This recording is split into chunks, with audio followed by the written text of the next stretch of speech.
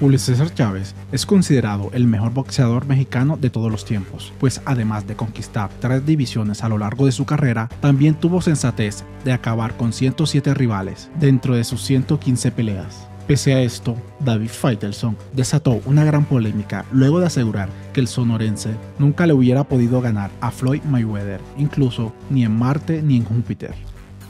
Estas declaraciones evidentemente tuvieron consecuencias, pues Julio César Chávez reventó a David Faitelson por decir que no tendría ninguna posibilidad ante Floyd Mayweather si ambos se hubieran cruzado en el mejor momento de sus carreras.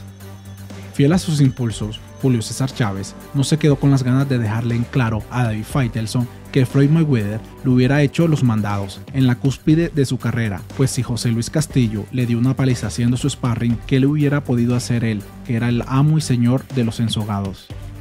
Mi estimado David tiene mucha razón. Ni en Marte o en Júpiter le hubiera ganado a Mayweather, pero te puedo decir que aquí en la Tierra, en los superligeros, le hubiera dado una golpiza. Si José Luis Castillo le ganó en las 135 libras, siendo mi sparring, imagínate yo, ahí te la dejo de tarea, sentenció el gran campeón mexicano.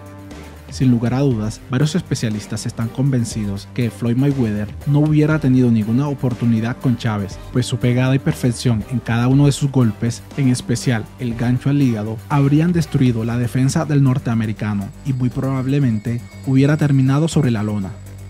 Por otro lado, a poco más de dos meses para la primera defensa del título superligero de la AMB para el Pitbull, Chávez le hizo una recomendación Julio César Chávez le recordó a Isaac Pitbull Cruz que no existe enemigo pequeño y por eso le pidió tener mucho cuidado con José Rayo Valenzuela. Todo puede pasar, arriba del ring no hay enemigo pequeño, dijo Chávez en entrevista. Lógicamente, el Pitbull es favorito, pero arriba del ring, como te digo, las balas perdidas existen. El Pitbull se coronó el pasado 30 de marzo, cuando liquidó en 8 asaltos a Rolando Rolly Romero, su primera defensa llegará muy rápido, apenas tres meses después de su coronación y contra el Rayo Valenzuela, un rival que no tiene nada que perder y que dará problemas al Pitbull. El Rayo Valenzuela no tiene nada que perder, tiene todo que ganar, añadió Chávez, así que yo siento que va a ser una pelea no tan fácil para el Pitbull.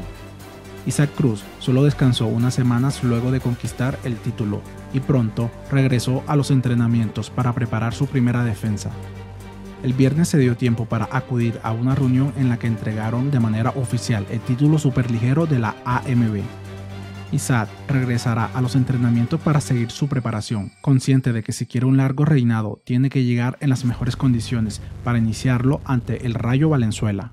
Y eso es todo. Deja tu opinión en los comentarios y suscríbete al canal para estar enterado de las últimas noticias, análisis y documentales del boxeo.